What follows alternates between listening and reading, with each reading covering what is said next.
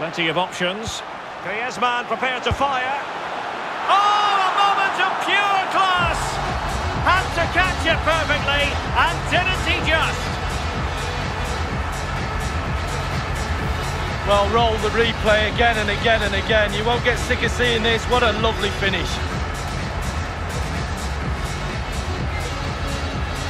Well, the goal again, albeit from a different angle.